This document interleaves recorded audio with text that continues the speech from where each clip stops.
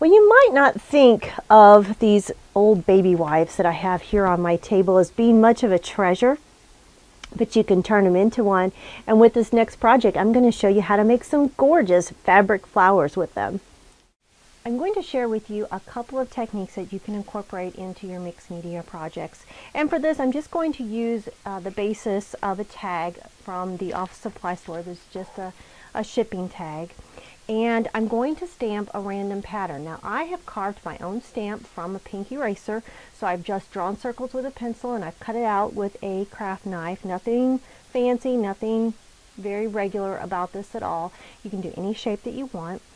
And I have here on my palette a very thin layer of decoupage medium. No paint, no color in the decoupage medium, but I'm going to stamp it on to my stamp and then I'm just going to apply that real random on top of my tag. This is almost going to give a watermark effect. And you'll want to make sure that this is completely dry before you move on to the next step.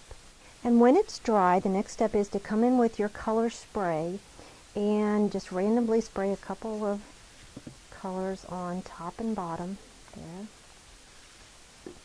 You can come back in with a baby wipe. Mine is a moistened baby wipe and you can daub that off. Where the two colors meet, they'll blend together. You have a really cool background for your tag. You can also let this dry and then later come in with a distress pad and ink those edges up like this one that I have here. So this is my completed tag, or the background of my tag that we're going to set aside, and we're going to work on the baby white flower. I just thought these colors were really cool, and I kind of discovered this idea when I was cleaning up my workspace after I finished a project, and I saw these beautiful colors. Um, these were what was left over when I wiped up my, uh, my palette on my table and I just knew that I couldn't let these pretty colors go to waste. So what I did is I started tearing them and you can see they're really nice and fluffy and they just have beautiful edges. Then I bunched them up and I thought, wow, these could make some really cool vintage looking flowers and they do. So what you're going to do, and you can do this um, any size, any shape that you want, is you're going to tear these into these random round shapes and you'll want three or four in different sizes. You'll need a large, a couple mediums, maybe a small.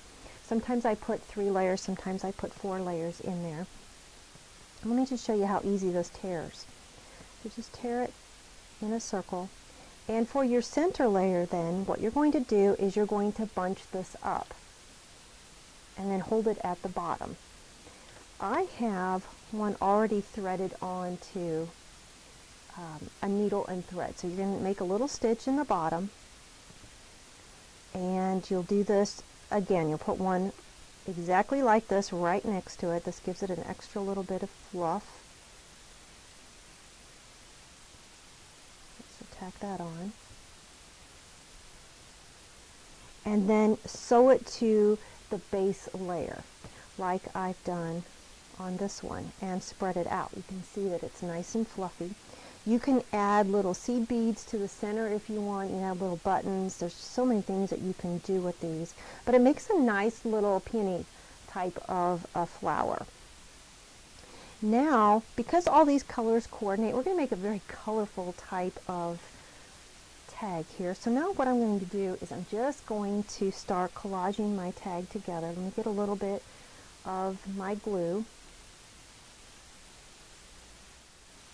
I'm going to add a piece of burlap for texture. Let's glue this on.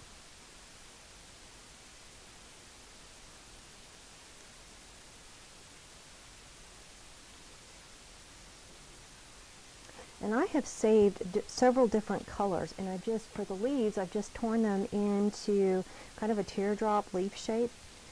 Collage this on.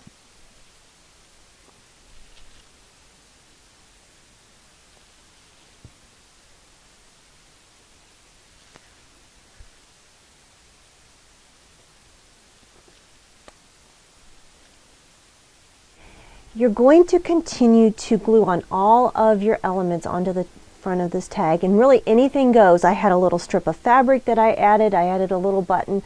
Whatever you have laying around, use it. Now let's take a close-up look at our finished tag.